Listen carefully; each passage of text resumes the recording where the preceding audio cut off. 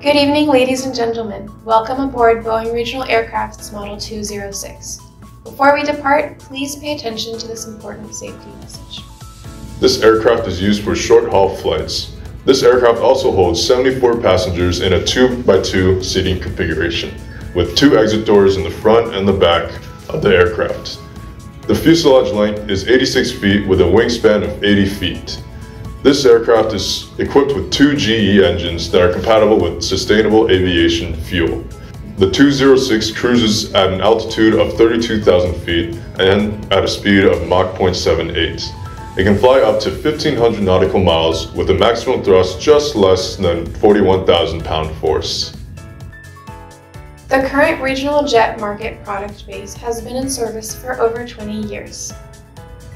This new aircraft was designed with multiple key requirements in mind, based on FAA regulation, as well as the goal of designing a modern solution to aim for the improvement of both performance and sustainability.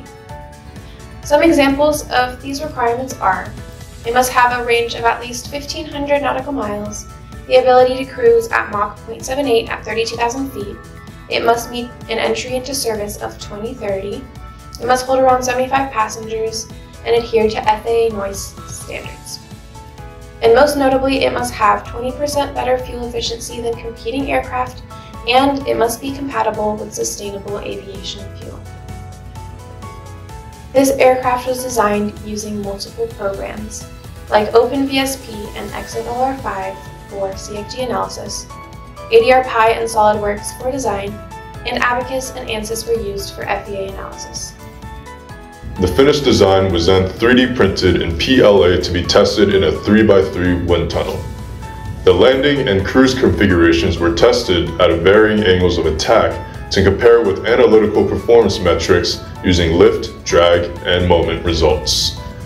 This will be used to verify metrics like range, speeds, and altitudes. All tests were successful and data is in the process of being analyzed.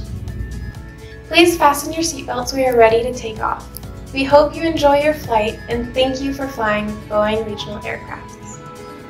This is your captain speaking. Cabin crew, prepare for takeoff.